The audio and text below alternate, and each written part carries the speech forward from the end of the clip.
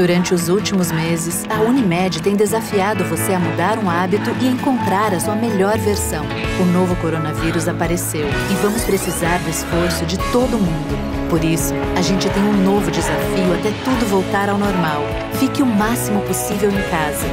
Cuidar de você. Esse é o plano. Unimed. Olá, sou Josiane Lopes, profissional de educação física, convidada do programa Bem Viver dessa semana. Falaremos sobre atividade física na pandemia de coronavírus.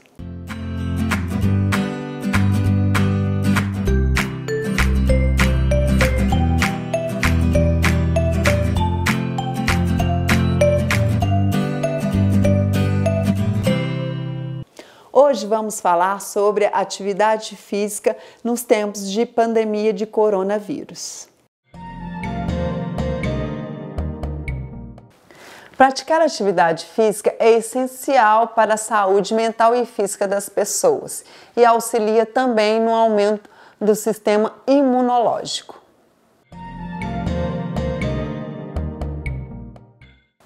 São inúmeros os benefícios que a atividade física traz para as pessoas. Dentre elas, a diminuição do acúmulo de gordura no corpo, a diminuição de açúcares no sangue, a diminuição de, de riscos de acidentes cardiovasculares, assim como estresse, depressão, dentre outros.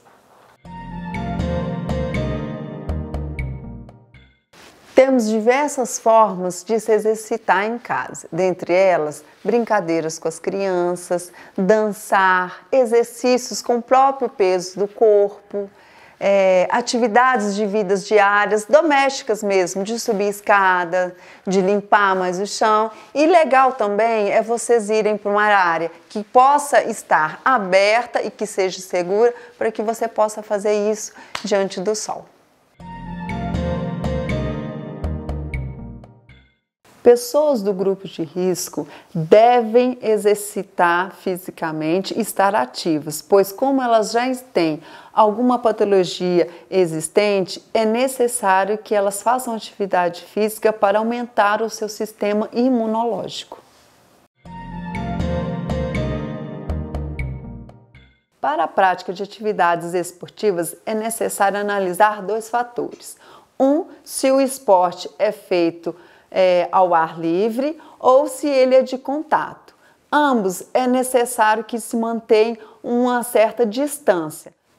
Mas no momento é necessário que se evite a aglomeração e este contato físico. Para quem não tem acessórios para fazer exercício físico em casa, podemos usar o peso do corpo, garrafas PET cheias de água ou areia, ou os dois juntos. Podemos também usar toalha, elásticos, almofadas, degraus, subir escadas, descer escadas. São muitas coisas a se fazer, é só usar a criatividade. As pessoas que gostam de se exercitar ao ar livre, é necessário que elas saiam com suas máscaras, com álcool gel em mãos, se possível, e tenham um distanciamento entre as pessoas. A OMS, ela preconiza que as pessoas, se forem caminhar, mantenham pelo menos dois metros de distância uma da outra se for correr, que ela mantenha 10 metros uma da outra. E se for andar de bicicleta, que ela mantenha 20 metros de distância umas das outras. Aquelas pessoas que não gostam do ambiente de academia e é próprio das repetições dos exercícios, elas podem fazer atividade de dançar. Dançar, ela é democrática, pode trabalhar o corpo inteiro e também pode ser praticada com as crianças, com os avós e até mesmo sozinha. A melhor atividade física é aquela que você se adapta melhor. Não importa se é de força, se é aeróbica, se é dança, se é brincadeira. O que importa é você não ficar parado.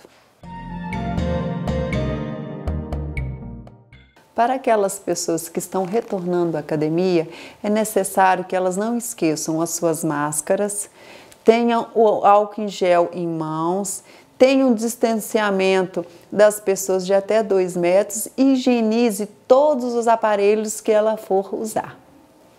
Agora vamos para um breve intervalo e já voltamos.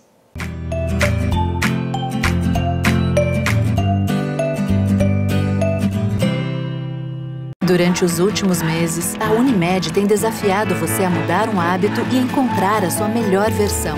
O novo coronavírus apareceu e vamos precisar do esforço de todo mundo. Por isso, a gente tem um novo desafio até tudo voltar ao normal. Fique o máximo possível em casa. Cuidar de você. Esse é o plano. Unimed.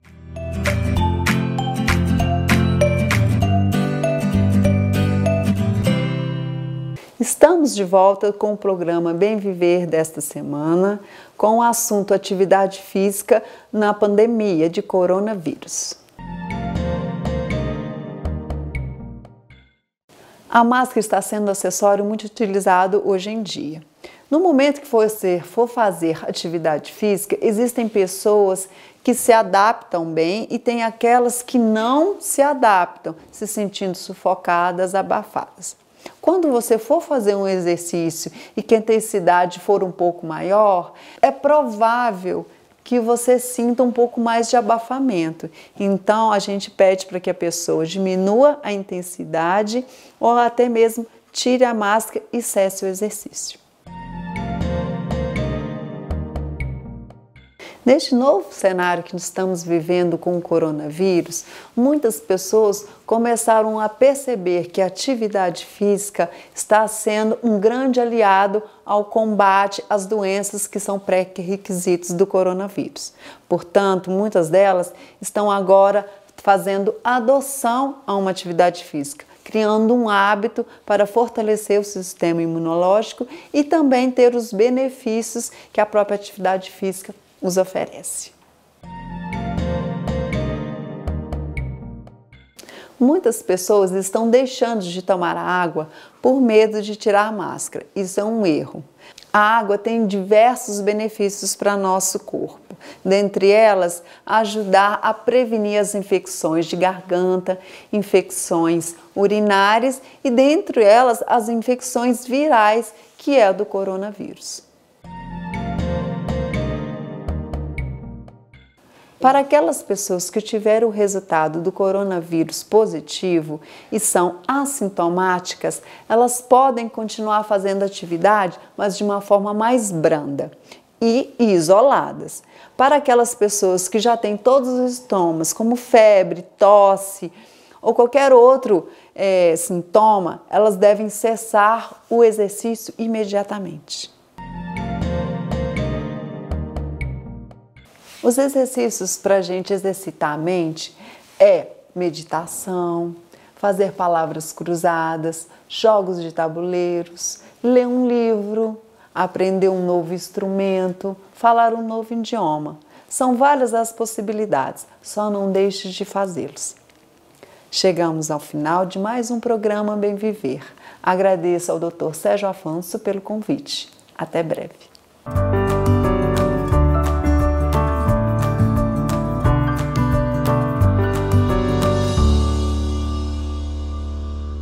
Durante os últimos meses, a Unimed tem desafiado você a mudar um hábito e encontrar a sua melhor versão.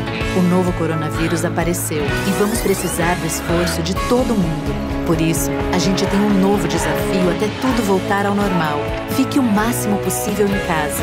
Cuidar de você. Esse é o plano. Unimed.